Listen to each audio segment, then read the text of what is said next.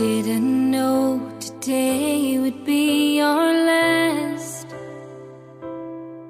Or that I'd have to say goodbye to you so fast. I'm so numb I can't feel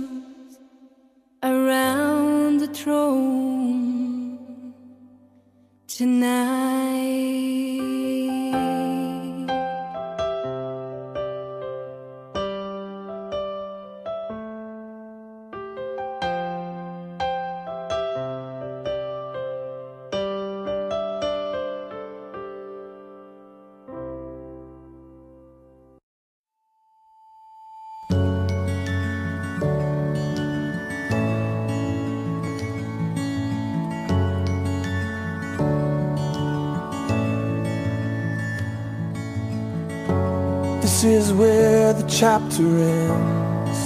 A new one now begins. Time has come for letting go. The hardest part is when you know all of these years when we were here are ending. But I'll always remember we have had the time of our lives. And now the pages turn, stories we will write. We have had the time of our lives, and I will not forget the faces left behind. It's hard to walk away from the best of days. But if it has to end, glad you have been my friend in the time of our lives.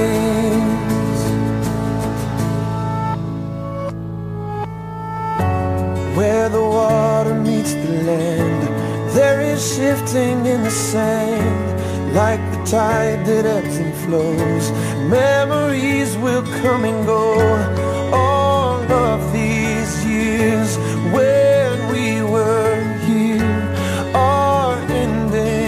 but I'll always remember we have had the time of our lives, and now the pages turn, the stories we will write. We have had the time of our lives,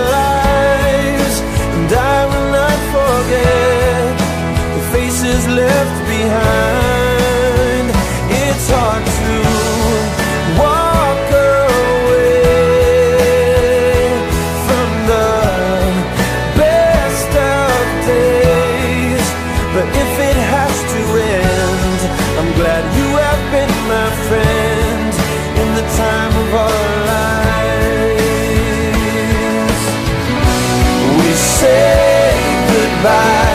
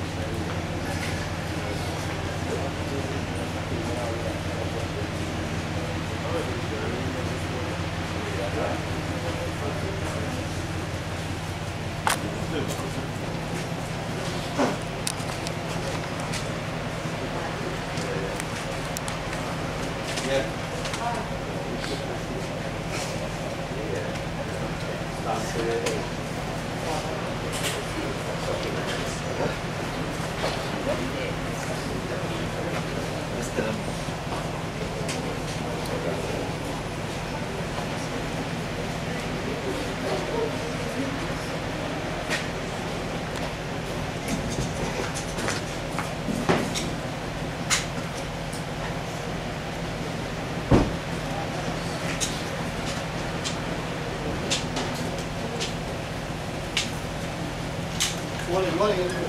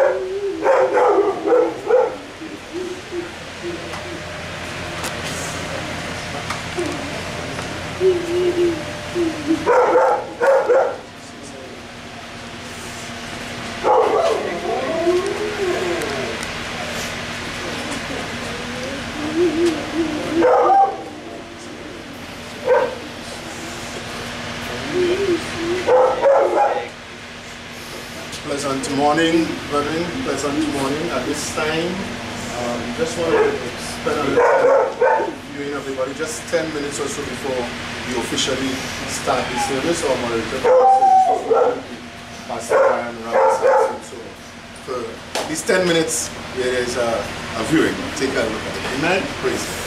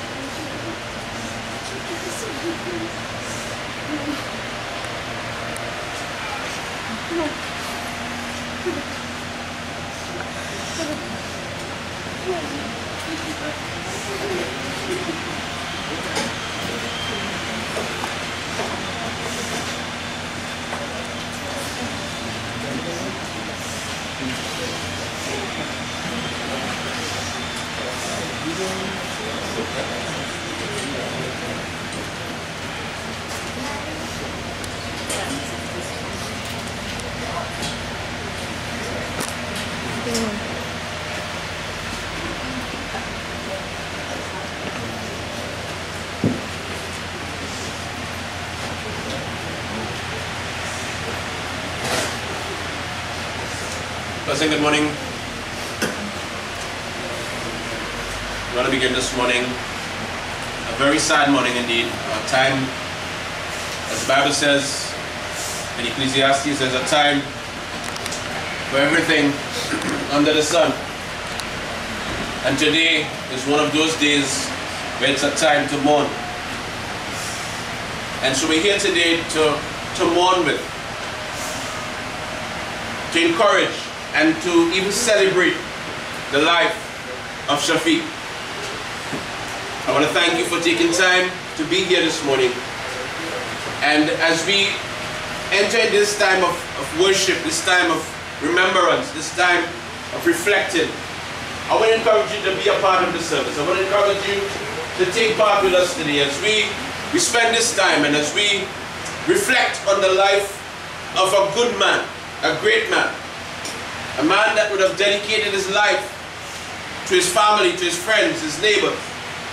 Today we celebrate him today. I want to encourage you to stand with me as we open in a word of prayer.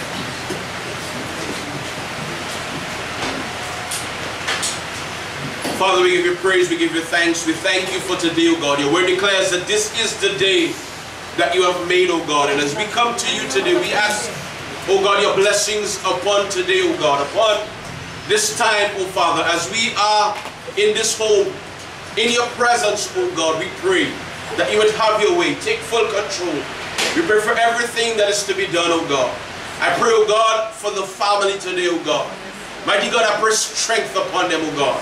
I pray a peace upon them, O God. I pray grace upon them, O Father. I pray, O God, that you would be with them even at this time of grief, O God, of hurt and of pain, O God. But you are a God that heals, O God. You are the God that comforts, O Father. And we ask you today, by your Spirit today, to comfort them. And God, we pray that everything would be done so that you would get the honor and the glory. I thank you for everyone that is here today. I pray your blessings upon them, O God. We ask these mercies in Jesus' name. And everyone says, Amen, and Amen. I want to invite uh, Melanie, I don't know if she's up to it, but I want to invite her to come to do the scripture reading at this time.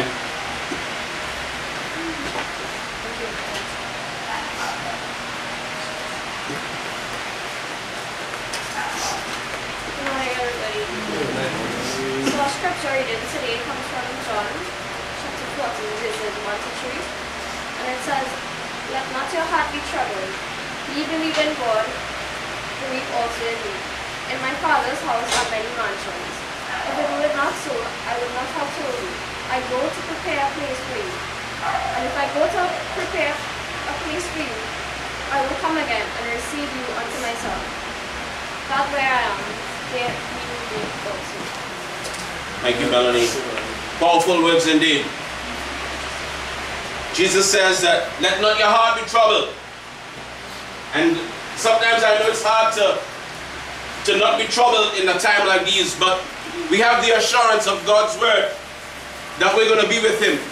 And the word of God says that those that belong to Him, we're going to see a loved one face again. We're going to see even God's face when that time comes. And that's the rejoicing hope that we have. I say it's more than just a hope, it's a fact. That we are going to see one another again. And I want to encourage you today, even as you spend a lot of time in, in worship, clap your hands and rejoice. Yes, it, I know you're sad. I know it's hard. But rejoice knowing that God says, let not your heart be troubled. And today we want to worship God today. Amen. Bless the name of the Lord. What a mighty God we serve. What a mighty God we serve. All the angels bow him. Heaven and earth adore him. What a mighty God we serve.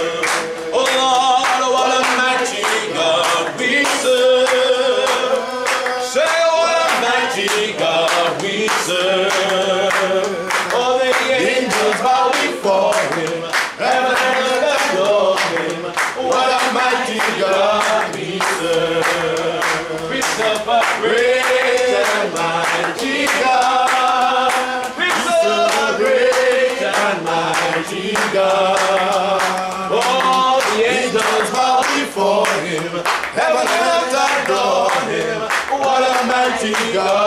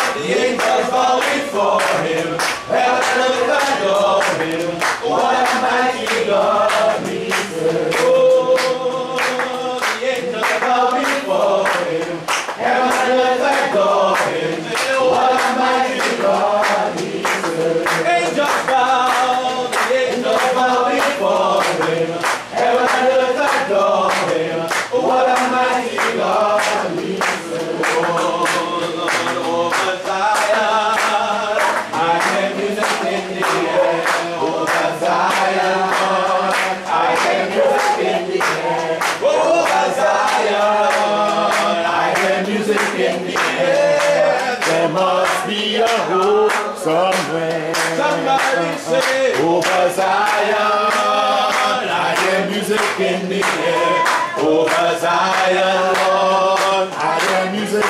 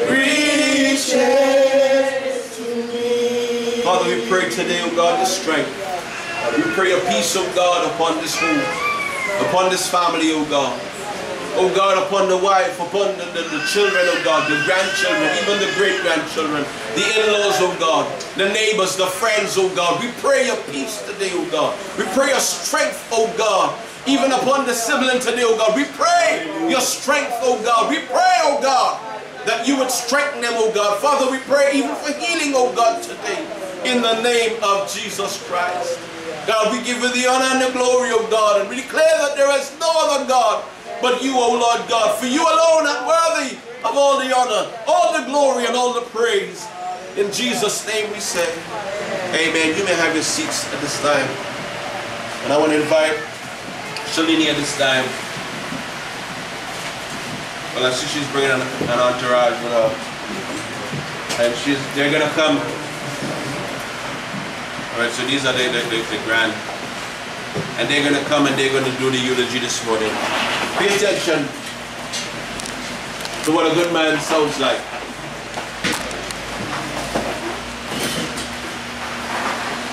Good morning, everyone. It is with great sadness that we gather here today to bid farewell to the late Shaffick Sinanan, better known as Saki, Doc, or simply Dad to his children and grandchildren. But to his closest friends, he was the legendary rock. The pain of losing him is immeasurable, yet, as we come together to mourn, we also celebrate the extraordinary life he lived. Born on February 26, 1954, to the late Nora and Dularchan Sinanan, Shaffick was the husband of Ramraji, a devoted father to Junior, Barry, Jamie, Janella, and Cindy, a cherished grandfather to nine, a great grandfather to two, and a beloved friend of many. Known for his quiet demeanor, Dad possessed a vibrant spirit capable of illuminating any room. Often found peacefully swaying in his hammock, a contented smile gracing his face, an ashtray by his side, and humming one of his favorite Indian tunes, he was a serene observer of life. Despite his reserved nature, he was keenly aware of his surroundings. While his memory for names was certainly not his strong suit, he was undenied, undeniably the proud father of five. To him, however, his daughters were simply Cindy, Jamie, Mary, and Krishna. Dad was a stickler for cleanliness, and surely something a lot of us pick up from him. He always made sure both inside and outside was spotless, from washing the wares to sweeping, and must have that cigarette in his mouth. Dad's love extended to his grandchildren, who he adored. He often treated us with snacks, juice, and our favorite Haagen-Dazs ice cream. He would have us on his lap for hours in his hammock, make us watch WWE wrestling, even though we watched the same episode 10 or more times while shelling redskin nuts. Once in a while, when his grandchildren gathered, he was sure to slip us a blue note. But, funny enough, there were days when Shalini and Shalise were desperately waiting for a taxi after lessons. He would pass them straight, sometimes on the road, even though they made eye contact, or tried flagging them down. Don't think he remembered our names either. We too were called Bat, Shalise, Millie, Jane, Mary, and the little one. Our family gatherings were often filled with laughter, as we shared countless unforgettable memories. One classic tale involved Dad's creative excuse to skip food, spraying perfume in his eyes to mimic a red eye. And who could forget the time Auntie Janelle accidentally made him a spicy cup of coffee straight out of the Anchar Masala package? She definitely received some backlash for that. We still chuckle about the time he mistakenly ate the block of cocoa butter, thinking it was cheese. And when Uncle Junior fell the mango seeds that accidentally struck him. There's also the infamous day he brought a hearse from home, from work. He sent Auntie Janelle to get something from the van, warning her not to look inside. Curiosity got the best of her, and what could she have discovered? A lady well dressed awaiting to attend her funeral. Despite the shock, it was a stark reminder of his often repeated phrase Don't fear the dead, fear the living. We could spend hours sharing these memories, but we'll save the rest for another time. Dad was loyal, dedicated, and passionate about his position at Guru's funeral home, where he wore his white coat with pride. Even at home, he always mentioned his boys and work. His emotions ran so deep that he even cried when Mr. Richard Guru visited, visited him once on one occasion. After retirement, he found his way back to continue his passion for his job. Guru's was more than just a workplace. It was his family away from home. Two things Dad cherished, his white coat and his white car. If you ever rode with him, you'd think he was driving from the back seat because his seat was always fully reclined. Even from his hospital bed, he made sure to call and ask someone, ask if someone had started his car. When his tenure ended at Guru's funeral home, he became an honorary employee at Uncle Yellow's CNG service. But truthfully, his knowledge of CNG was about as deep as a teaspoon. As long as Uncle Yellows and Kishan was in the garage, he would spend hours upon with them and their clients. As we bid farewell to our beloved Shaffick, Saki, Doc, and Dad, we extend our heartfelt gratitude to everyone who has supported us during this difficult time. Your words, prayers, and presence have been a source of immense comfort. A special thank you to Mr. Richard Guru and the entire team at Guru's Funeral Home for their compassionate care and unwavering support. Your, profession, your professionalism and empathy have made a significant difference. The loss of Dad has left an irreplaceable gap in our lives. Let us cherish the memories we shared with him, and may his spirit continue to live in our hearts. May he rest in eternal peace. We will miss you so much. We love you, Dad.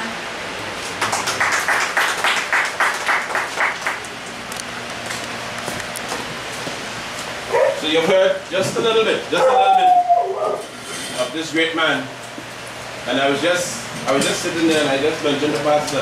He just came to me that when my mother died, this is the man that that that that that um that made her up, that, that dressed up and that kind of thing.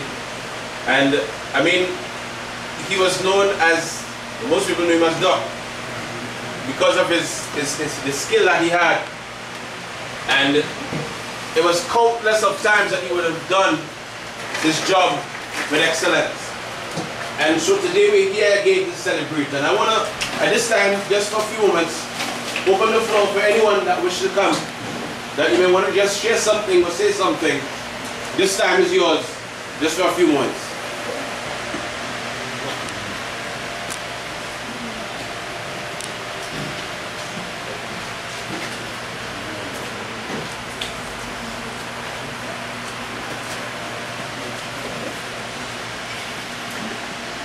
Morning, everyone.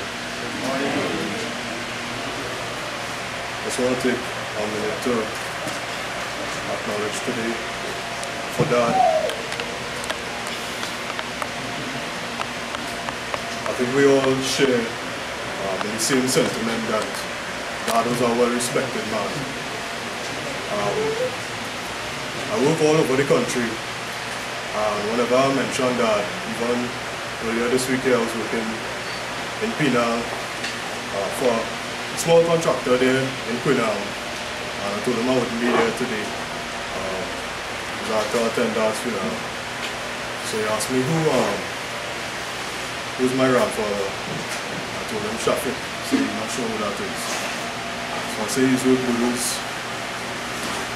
He said, Budus? Well, I know Budus for a very long time, right? He took care of all his family. Uh, you know, a couple generations well. And he say, what is called Aaron for us? So I told him Duck. He say, I've known Duck for about 30 something years.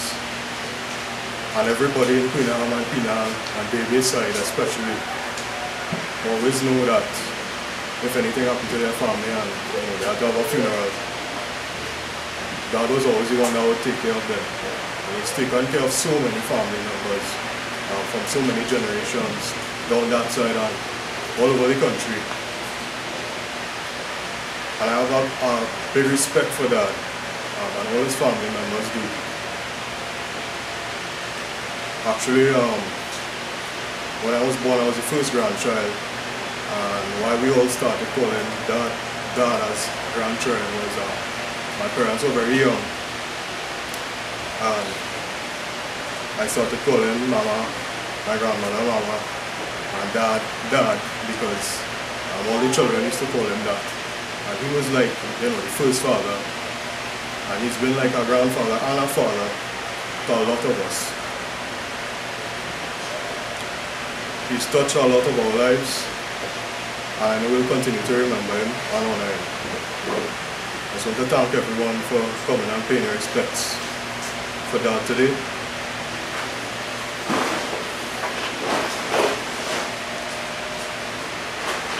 While we might be sad, I want us to also celebrate his life. Because he had a strong legacy. And children and grandchildren will continue to honor that. So thanks a lot, everyone.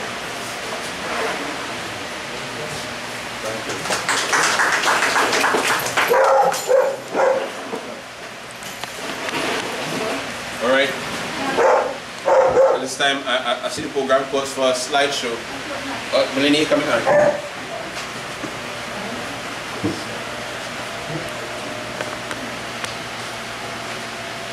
Good morning again, everyone. Small tribute Dad, you always hold a special place in my heart. These past few years have been a privilege caring for you when you needed me to.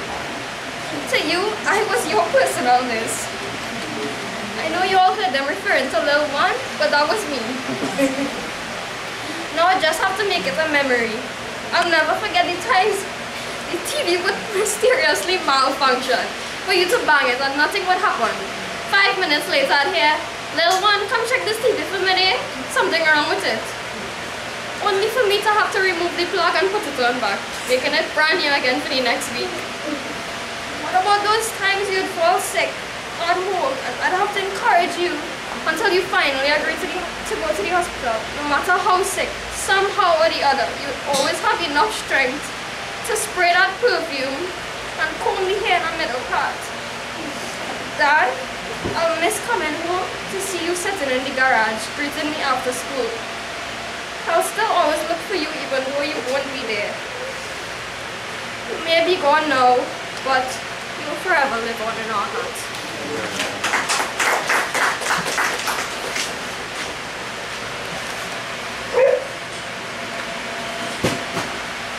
All right, so at this time we um, we have a slideshow. Think program calls for a slideshow.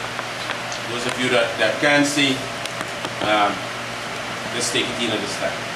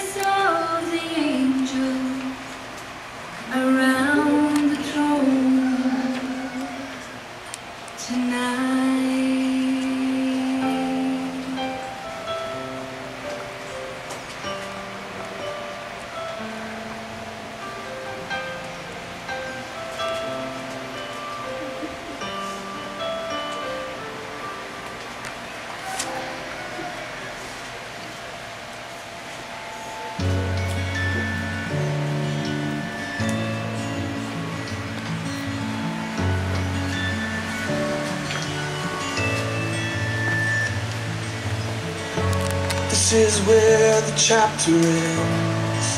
A new one now begins. Time has come for letting go. The hardest part is when you know all of these years when we were here are ending. But I'll always remember we have had the time of our lives. Stories we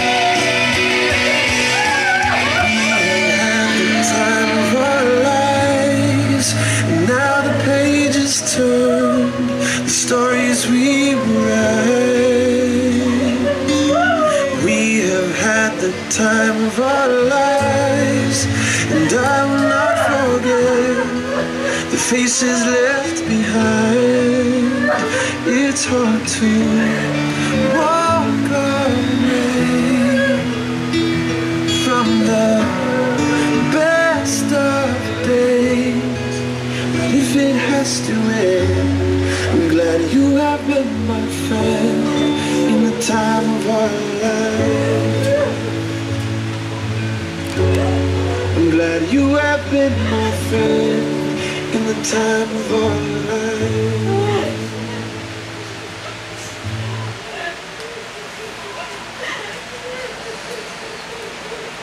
At this time, I want to present to share from God's Word just a little bit our pastor, Bishop Anselm, sir. God bless you. Praise the Lord. Pleasant morning to that is within the sound of my voice. I trust that you'll be hearing me on the outside. I greet you this morning in the wonderful name of our Lord and Savior, Jesus Christ, the soon coming King.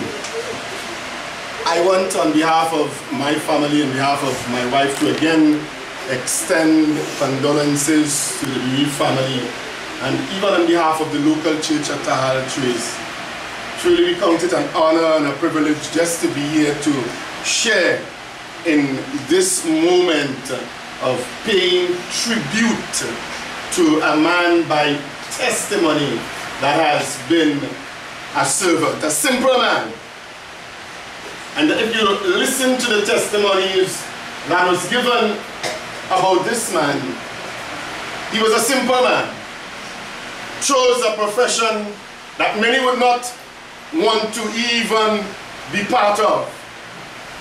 But he did so even in the sense of simplicity by choice to serve and to be a blessing to many. And today that brings me to the fact of the purpose that we are here. Why are we celebrating this man? And what is this moment to us? Even as we look around us, we look at the coffin, we listen to the testimonies, it says to us, it speaks to us volumes today. And I trust that we would hear what this moment is saying to us. Many of us, if not most of us, if not all of us, would have one time or the other been a part of a funeral service. Some people go just to see what's happening. Some people go just because they are neighbors. But many a time they fail to understand that even the moment and the box is presenting a message. And the message that the box represents, the message that the moment represents, it represents the sovereignty of Almighty God. It represents time. It represents the frailty of man. It represents the choices that we make. Because the choices that we make determines, after all is said and done, where would we spend our eternity. And I don't know how you think about funeral and funeral services.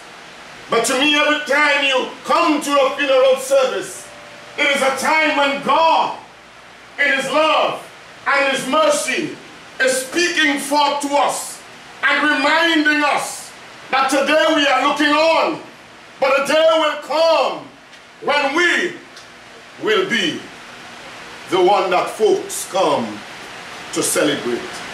The question is, are we preparing for that day? Are we looking forward to that day? Most of us do not think about it. Most of us even do not like the idea of thinking that death would visit us. But my friend, today I pray that at the end of this service, you would be encouraged to make a choice, to think twice, and know that this coffin, that this moment speaks to you and say, be ready for you know not when. The Bible tells us in the book of Hebrews chapter 9 and verse 27, it says it is appointed unto man once to die, but after there is judgment. The question is, are you preparing to meet your judge? I want to just share with you from the Word of God this morning, speaking concerning choices. And I'm looking at the book of Luke this morning. Luke chapter 16, and it speaks of two men. Many of us would know or might have heard about this situation. Two men, one rich and one a discarded, sick, and suffering man. The Bible says in the book of Luke, chapter 16 and verse 19, I'm reading from, it says, There was a certain rich man, which was clothed in purple and in fine linen, and fared sumptuously. In other words, this man lived a luxurious life. This man lived a full life. But the scripture says also that there was also a certain beggar named Lazarus, which was laid at his gate, the rich man's gate, and he was full of sores. Not the kind of person that many people would like to be acquainted with. Amen. And I'm saying that because I feel this morning Shaffick lends an excellent example of what the scripture portrays to us this morning. A simple man, a man that most people would not want to associate with, amen. But the scripture says, at this beggar, desiring to be fed from the crumbs which fell off the rich man's table. How many a time we have faced. I don't know who Shaffick might have been able to communicate with, whose house, whose home he might have been invited to to celebrate him as a man.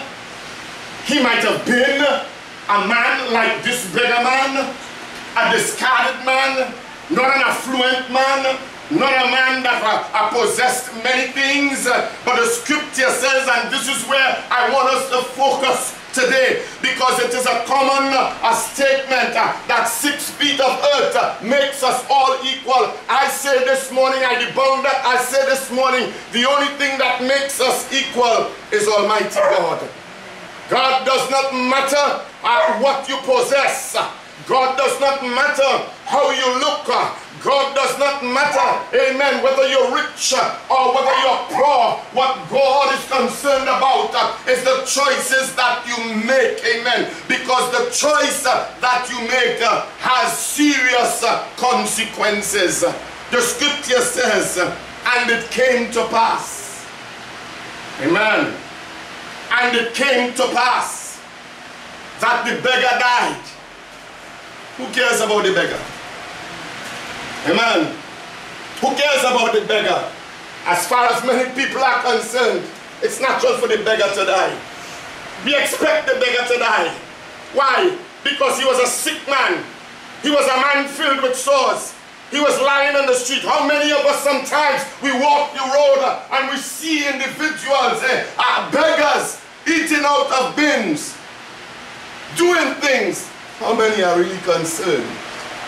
How many even feel something for them? Amen. But the scripture says, listen, the scripture says, the beggar died and was carried by angels into Abraham's bosom. Sorry, ain't finished yet. The scripture says, and the rich man also died. You see, money will save you from death. Amen. Some of us believe that because we may possess some blessings, and I call it blessings from Almighty God, that we are in control, we are in charge. But the scripture rightly identifies to us, amen, that God is the one who determines our, our value, our length of days. Amen. You can have money, you may live old, you can also die young. Sometimes you look around, I know most of us today, we are, we are very computer savvy and ID savvy and we know a lot of things. Look around and you see some people in this world, they possess money like that. Even if they have three or four lifetimes, they cannot spend what they have. Amen. But the scripture identifies, in spite of who they are and what they possess and the position of authority or power that they may hold, death would come knocking and there is no turning away death because death is not dictated by man's ability. Death is not dictated by man's possession. Death is dictated by the Almighty God. And I submit to you today that this coffin and this man and this moment says to us even now that our turn would come. Our time would come. The question is, are you ready? What choices have you made? Hallelujah. The scripture says the rich man died and in hell. I know sometimes people try to wipe away that, that word hell, but there is a hell. There is a heaven. We like to think about heaven. We like to think about the goodness of God. We like to think about the favor of God. When we all get to heaven, what a day of rejoicing that will be. We sing that lustily, but I say to you, the choices that you make will determine whether you make heaven or hell. Because just as there is a heaven, there is a hell. The wisdom of the world identifies that to us. There is a up, and if you believe in up, you better believe in down. Amen. If you believe in rain, you're going to believe in sun. So if you believe in heaven, my friend, you better believe in hell. And the choices you make, even now, will determine whether or not you make heaven or hell. Hell is real. The scripture says that the rich man died. Hallelujah. Oh my God. And being, he opened his eyes uh, and being tormented in hell. Uh, I know we don't like to, to, to believe it. Uh. Some people try to water it. Some people try to say a loving God will not send you to a tormented hell. I say to you and I submit to you, friend, God don't send anybody to hell. Hell is the choice that you made. The Bible says, ah, Joshua looked at the children of Israel and he says to them, he said to them, choose you this day choice whom you will serve. Because whether you like it or not, believe it or not, you're serving somebody. Either you're serving God or you're serving the devil. You're a servant of righteousness or a servant of sin. Hallelujah. And your money can't bribe God and your poverty does not deter you from God. Hallelujah.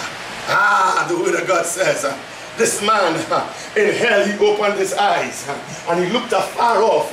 And who did you think, or who do you think he saw afar off? The beggar who sat at his gate, amen, who the dogs licked his sore. The Bible is saying to me, I think in my mind that this man was so high, so lifted up, so pompous that he didn't care about the beggar at his gate, amen. Because the scripture says he would fain eat, not a meal from the rich man's table, but the crumbs. The scripture says his friends, it was the dogs that licked his sores. But he was right outside, Pastor. He was right outside a rich man's gate. Amen. This man should have been taken care of. Amen. He had the opportunity. The man, uh, the man was not, uh, he was not obligated to take him in and give him a room. Uh, but he, uh, my God, he was in a position uh, to help him. Uh, he was in a position to serve him. He was in a position, amen, to make his life easier. He was in a position, amen, to get those dogs that might have been even diseased to stop licking his wounds. but it seems from what we see that he did not do that. and then the time came came uh, when the rich man died and the poor man died uh, and we saw because of choice uh, I say to you and I submit to you that poor man in the midst of his need he must have cried out to God or else he would not have made it into heaven Abraham would not have embraced him in his moment I'm saying to you this morning friends friends and those of you that are within the sound of my voice yes your situation might be tougher. yes your, your situation might be hard but let me say to you, there is a God. Hallelujah. And as long as you have life, you have hope. Amen. The Bible says to us, this often says to us, it speaks to us about time. Time is the moment and the space that we exist here. But it's a precursor to eternity. Don't be fooled. It's in when you're dead, you're done. Amen. You don't start to live. Time would have expired but you have entered into eternity. I submit to you and ask the question to you, where would you spend your eternity? The choices that you make today, the choices that you make even at this moment, as you look at this sweaty preacher preaching to you and encouraging you and telling you, prepare yourself, choose you this day whom you would serve and trust that you would make the right choice. Amen. Let me give you two more quick things, a few quick things. There is a word that we use that's called as the too late. Too late shall be the cry. As long as you have life, you have hope. I want to debunk any theory, any doctrine that says when you're dead, somebody could pray you out of hell and pray you into heaven. You can't change God's mind. There's one way to heaven. Listen to what the scripture says. The scripture says, and he cried and said, that's the rich man, Father Abraham, have mercy on me. Immediately it tells us something. The beggar man would have been in trouble while he existed in time. He was friends of the dogs. Amen.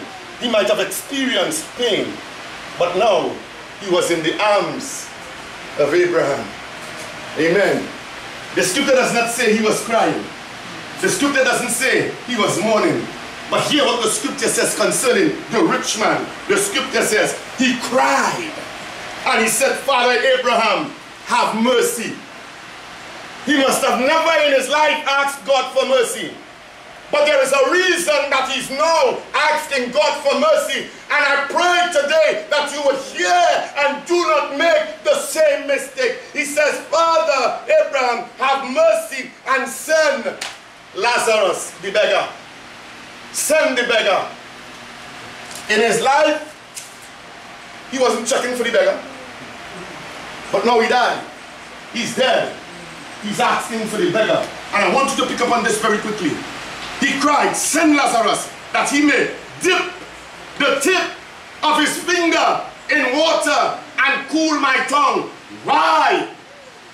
For I am tormented in this flame. I submit to you today, brethren, and all that is within the sound of my voice, even uh, now, think, be wise. We believe in heaven, but we dispel hell. As sure as there is a heaven, there is a hell. As sure as there is life, there is death. But after time has expired and you enter into eternity, there can be no more change, just judgment. And it is tormenting, either heaven or hell. He made a choice to live the life. He lived it up. If he was driving cars, he might have had quite a few under his house. He might have lived in a very big house. The Bible says uh, he, he lived sumptuously. Amen. He lived at large. But then the time came. And the scripture says, come on, I'm almost there. Hallelujah. He says, send Lazarus. But Abraham, God is just, righteous, and fair. As long as you have life, you have the opportunity to make a choice. And I submit today I would have failed as a minister of the gospel to tell you there is salvation in none other but Jesus Christ. Only He died upon the cross of Calvary. And I'm saying that not because I, I, I think it off of my mind. I'm saying that because I believe the B-I-B-L-E, basic instruction to man before leaving it. Hear what the scripture says. Abraham responded. Abraham said, son, even in his moment, even in his torment, Abraham spoke to him with honor and respect. Amen. Abraham said, Son, remember, remember that thou in thy lifetime receivest thy good thing. In other words, you lived large when you was existing in time. Amen. And Lazarus, amen, on the other hand, was existing, experiencing evil, hard times. Uh-huh. But no, but now he is, he is comforted. Amen. And thou art tormented. It didn't happen because God decided it. It happened because of wrong choices. Two men, two different situations. One rich, one poor. The choices that they made determined their eternity. Amen. The scripture says, uh, and besides, Abraham speaks, he says, besides all of this, between us and you, there is a great gulf, so that which could not pass from hence, so we cannot, we cannot, it cannot be done. Amen. Nobody can reach you beyond the grave. When you're dead, you go into your, amen, your eternal reward. Hallelujah. Listen quickly. Hear the rich man now. Then he said, I pray thee, I would like to say beg. I beg thee now, therefore, Father, he must have never said father in his time. Father, that thou would send him, the beggar man, Shaffick. Nobody wasn't taking on either man who was dealing with dead people. What hang around that man? Amen. But he was a servant. He chose to serve people. He served to be a blessing. Amen. He's begging the Lord. He says, send them. And hear what it is concerned. I pray, but listen to what the word of God is saying unto us. Send, amen. Send him, Father. I pray thee that I would send him unto my father's house, for I have five brethren that he may testify unto them, lest they also come in this place. Now we recognized, amen, and I'm sure you must have heard the gospel. I'm sure you must have heard the prophets. Hear what the scripture says. And listen, and I pray you don't make a mistake. The scripture says, Amen. Abraham said unto him, They have Moses and the prophets. Let them hear him. In other words, you've got to believe this. Abraham and the prophet speaks of this, the Bible, the gospel, the good news. Amen. The scripture is saying, Abraham responds to him, you have that, amen. Nobody coming from the grave and talk to you home, amen. If you're seeing them kind of thing, trust me, amen. Amen. Let me leave it there. But you ain't want to hear nothing from the grave. You don't want to see anything from the grave. Hear what the scripture says. They have Abraham, amen, and they have the prophets. Abraham said this to him, and he said, No, Father Abraham, but if one went unto them from the dead, they would repent. So this man knew about repentance. But he made a choice not to repent. Repentance is both a condition and an act. It is a condition of being sorry in godly sorrow for sins committed against a righteous and just God. And it is an act, amen, of turning away from. Amen. In other words, you turn away from sin.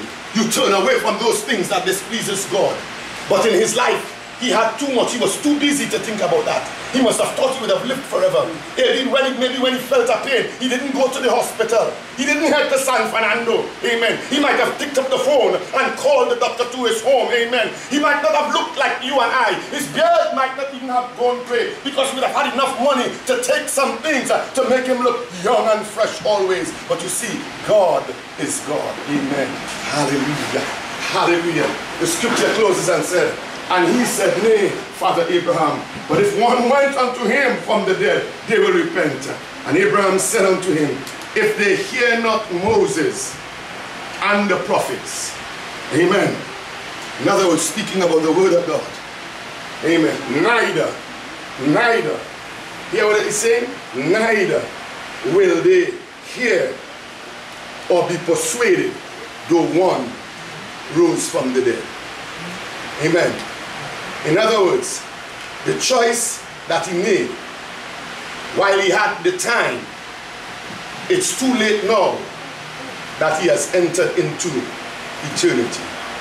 I'm saying to you and I'm submitting to you, dear friend, dear brethren, please, while you have the time, while today is called today, make the right choice.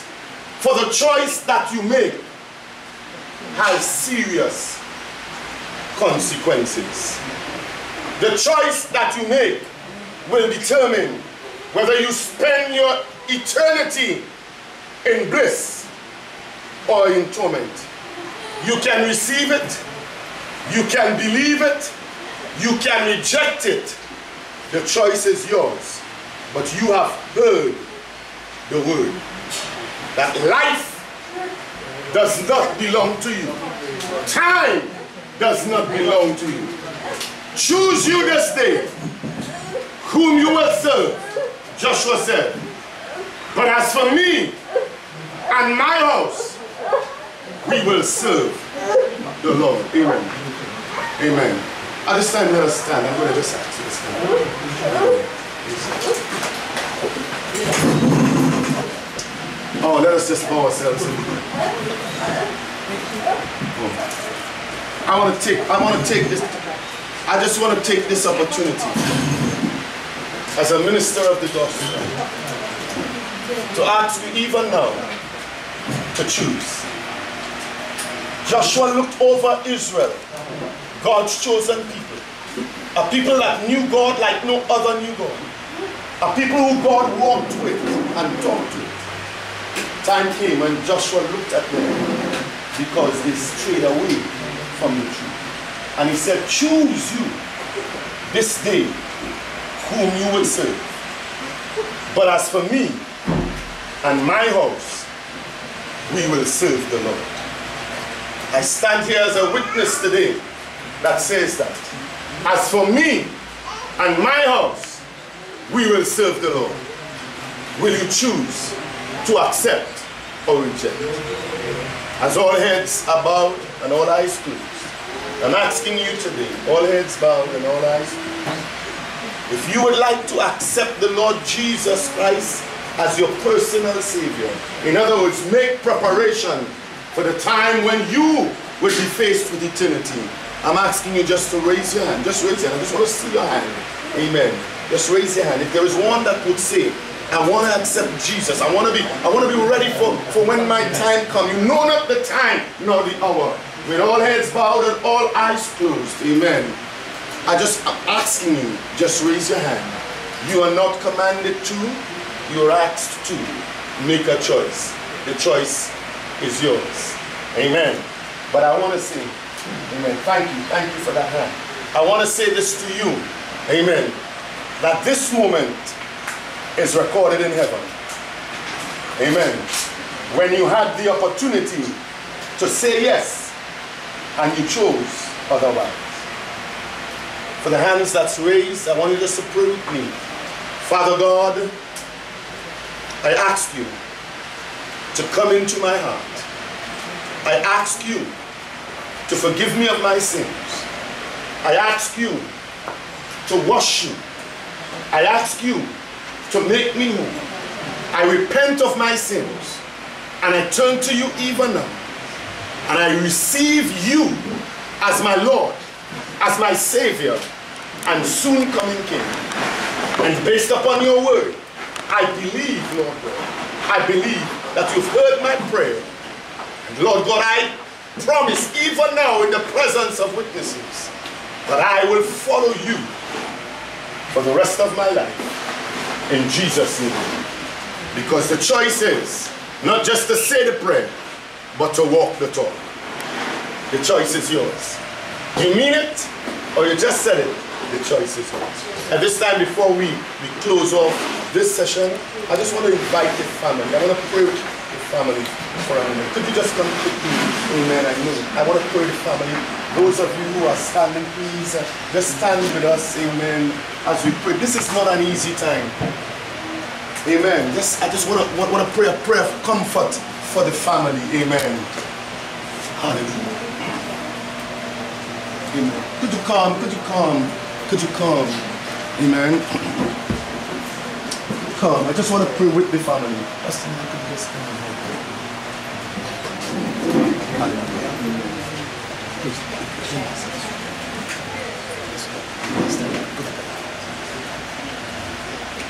I'm asking a dear brother just to stand with me even at this time. And the reason, the reason that we're doing this, I'm asking those of you, your friends to the family, just join with me, amen. That is never easy. It hurts.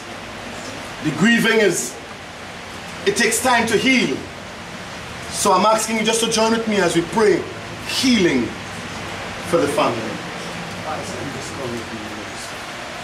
Hallelujah. Father, in the name of Jesus. Lord, today we acknowledge your sovereignty. You are sovereign God. Lord God, life is in your hand. Or lives, it's in your hands. And even now, Lord God, as we stand together, paying our final tributes to the dearly departed. Father, we lift up, we agree as friends, as family, as neighbors. We agree together today, Lord, on behalf of the bereaved family, Father God, that even the grieving period, that it would be short, oh God. That the healing would be quick, oh God. Father God, we ask in the name of Jesus, Lord, that this moment would draw the family closer together. We come against dissensions. We come against confusion. We come against everything, Lord God, that would make the memory of this man a sad one. Oh, Father, we lift them to you today. We lift them to you today, Lord. And we ask in Jesus' name, thy will be done. Comfort them by your spirit. This we ask in Jesus' almighty name with thanksgiving. And may we all say, Amen. And it means, so shall it be. Amen. Thank you, thank you, thank you. At this time, I'm going to ask the, the, the bearers to just allow, just allow the, the casket to be open just for a few moments, and we do a final viewing, and then we proceed to the shores to do the final briefing. God bless you. This one.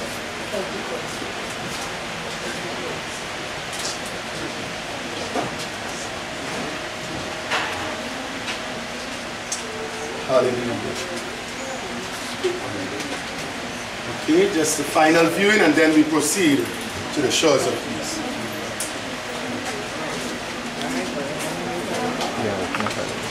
peace. Thanks.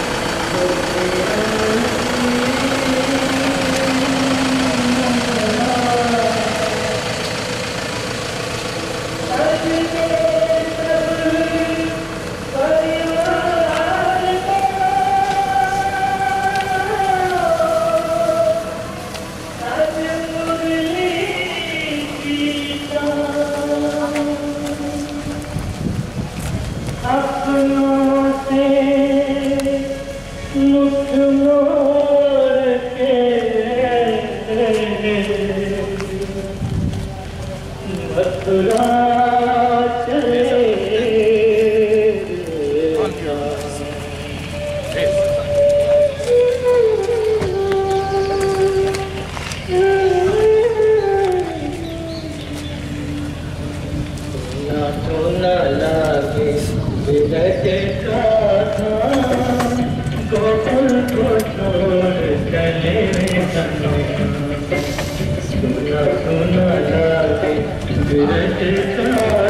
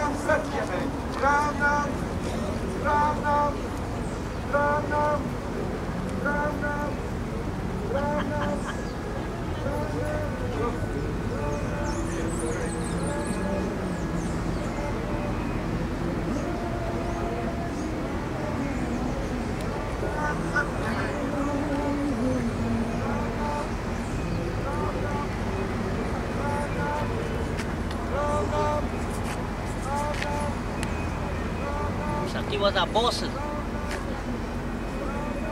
Boss. Man. Memories we can keep.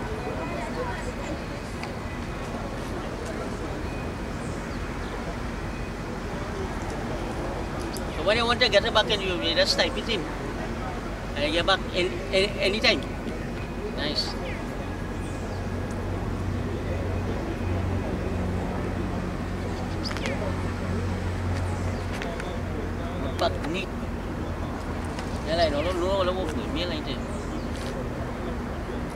Morning now, they gotta come what time to take up the lashes on them. Det, det går att tälja. Oh, det är walking och tema walking up so. Eh? Det är walking.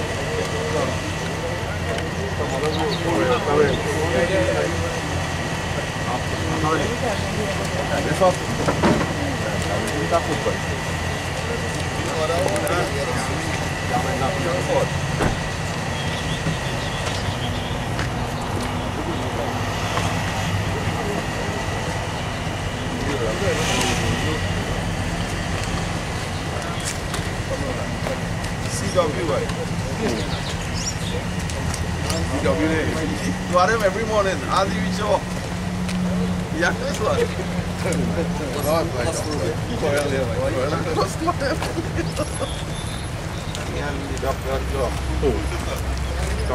you are them.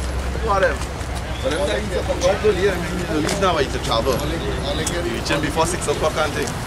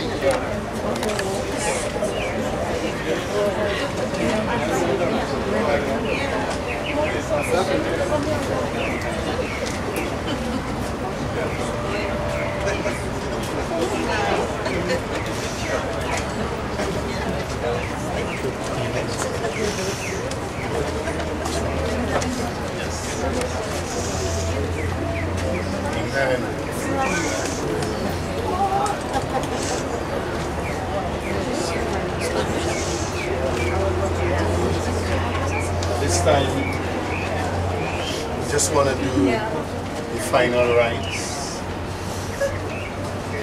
Do our final farewells to the family again. Just encourage you to be strong. I know it is easier said than done. Death is never something that you could smile on. The only thing that we lay hold on is the hope that we have in Christ Jesus. So I want to encourage the family. Be strong. Stick together. I want to just refer to a passage of scripture.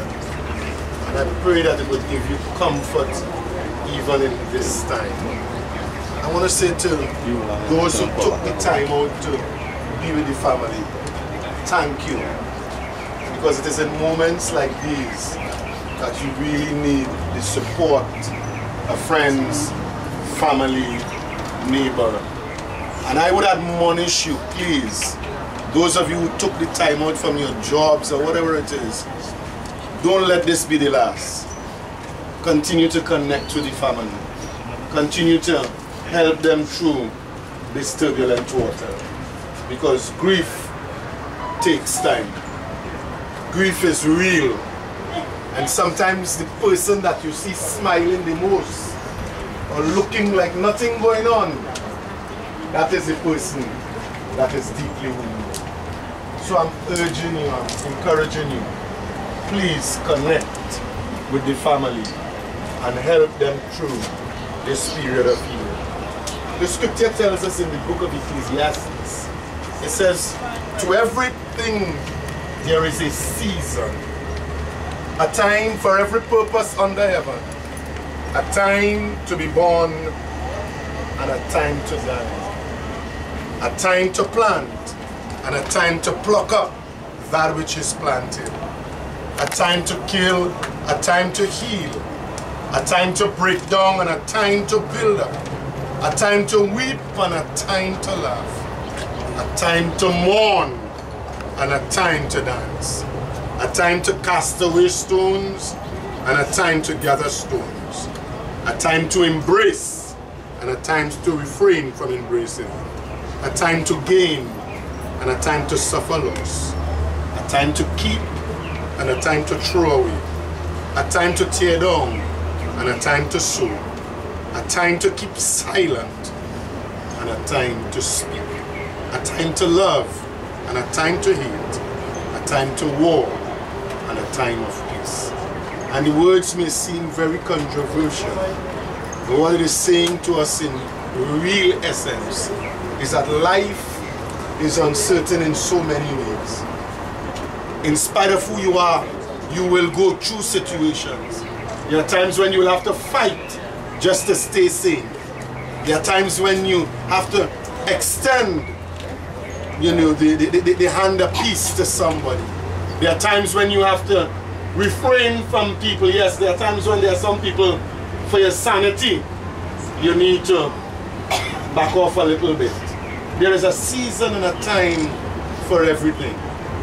So now the family and the friends, this is your season of grief. But I want to assure you, one word says to us and puts it this way, and it's something good to hold on to, it's encouraging. It says to us that weeping may endure for the night, but joy cometh in the morning. Your time of grieving will be over. I just want to ask, even before we commit the body, the final remains, and I say the body because Shaffick is not here. This is just Michelle, this is just the body. And we are just paying our final respects. But I just want, just briefly, if there's one person like to just share a little bit, that's one person. Because the thing that we want to remain with is the memory of this man. And I am positive that there are many of us that have memories of this man. I urge you, hold on to the good memories. Sometimes it is easy for us to, to, to hang on to the ill things and the bad things. But let me tell you something. If you look carefully, you will recognize that there are so many good things, good qualities. Sometimes there may be just something that we could lay hold on and apply to our own life. I am urging you, I am encouraging you. Please remember the beauty that this man would have painted, the things that he would have done that is instrumental in encouraging us. Is there one person that would like to just say something good? I said one, please. Good about this man. One memory you want to hold on to. Anybody? One memory, one memory, one memory. Anybody? I'm sure that there has to be memories here today. No memories? I don't believe that. Yeah, one here. Amen. He's stuck up in the garage. Normal. you how you looking so white. What do you know it is? Comedy guys, we gonna sit down, talk, laugh. You gonna make me laugh, laugh, laugh. Amen. Again. Amen. Amen. And that's something simple. Not everybody has the ability and the quality to make people laugh. That is a great quality. I, I, I- hold on to that, you know. Remember the moments when this man would have encouraged you in laughter and maybe bring a little peace. Sometimes I know the work could be hard, and here he comes, and he brings what to the garage. Instead of stress, he brings laughter. He brings an ease. And these are the kind of memories we want to hold on to. I'm saying, listen, if you look deep enough, you will find beauty and something that you can hold on to. Something that is encouraging. I say to you again, be encouraged. Do not give up. Do not be swallowed up by grief, but be encouraged with the good memory. I leave these words with you. The scripture says in the book of Psalms, verse chapter 27 and verse 1, it says, The Lord is, and, and, and I wish that you you would you put this in your heart, you would lay hold, you'd believe it, you'd receive it. The Lord is my light and my salvation. Whom shall I fear? The Lord is the strength of my life. Whom shall I be afraid? Of whom shall I be afraid? I say to you, fear not. Fear not. Be of good courage. What is happening to you? You are not the first and you will not be the last. This is your season, but this too shall pass. So I encourage the family. Look out for one another. Encourage one another. Love one another. Be there for one another. And that is what this moment should have brought to you. Amen. So at this time, I just want us to just bow our heads in prayer. And this will be our final prayer just before we commit the body. I want us to just bow and we want to give honor to God because He is sovereign. Amen. And it is an opportunity even to come together and think more so of us preparing ourselves. I reiterate at this time prepare yourselves, make use of this moment, and I trust that you would walk away understanding the message of the moment that your turn will come. Prepare, prepare yourself to meet your maker. And life is not finished when your time expires. Time only pushes you into eternity. Brethren, friends, neighbors, prepare yourself for eternity. Amen. Father, in the name of Jesus, we lift your name at this time. We thank you because you are God all by yourself. There is none like you. There is none to be compared unto you. You are the one that said, Let there be, and there was.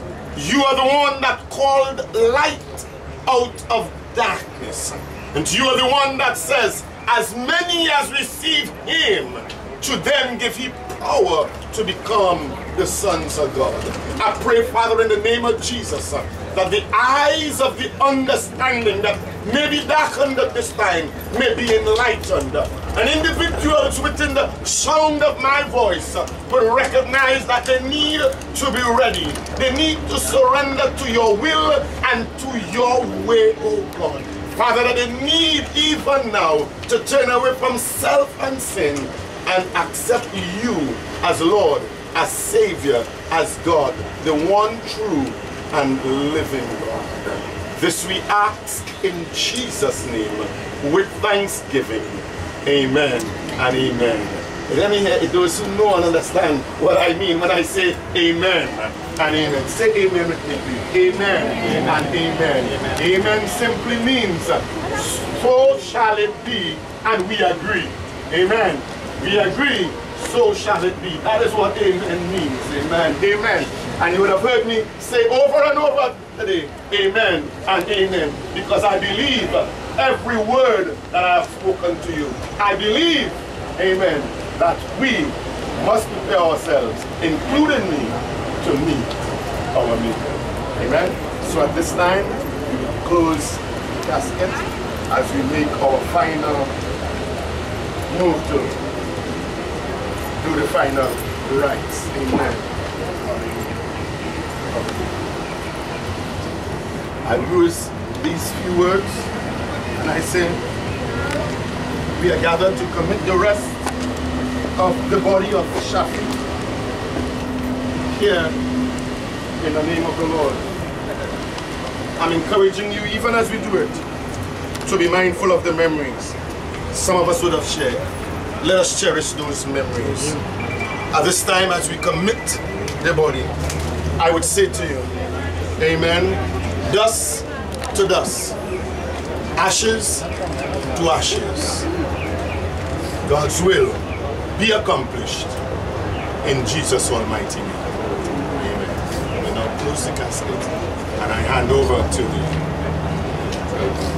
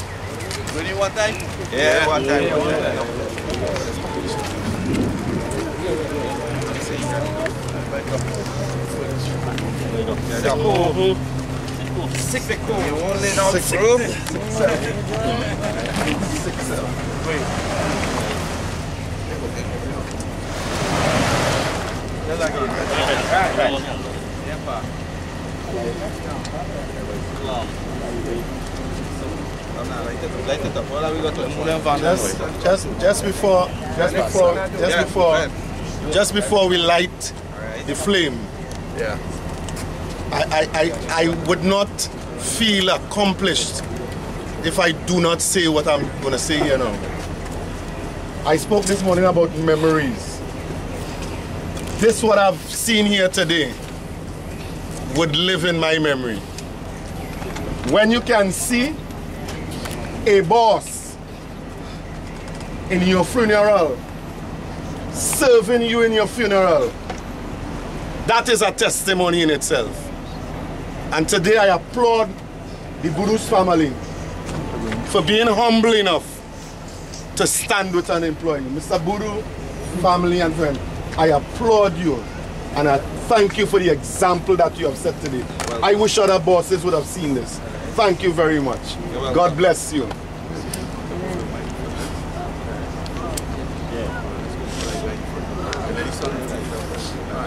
Non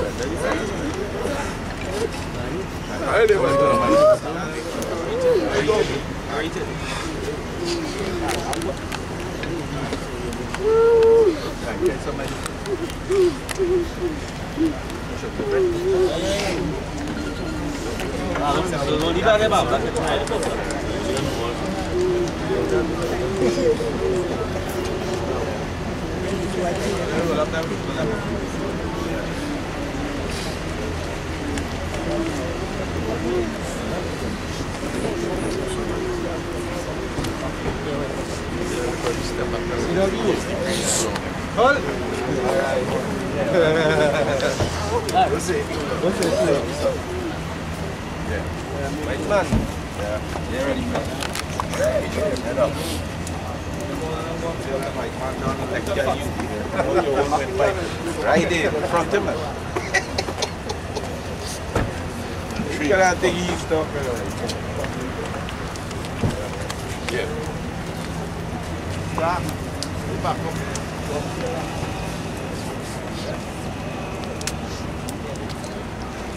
That's not even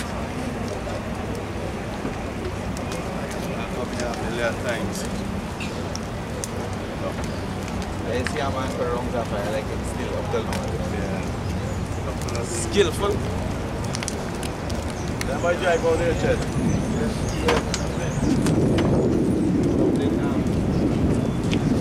there, um, Yeah.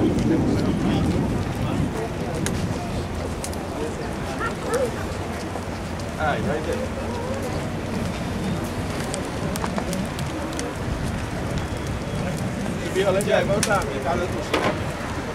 Jadi blokir.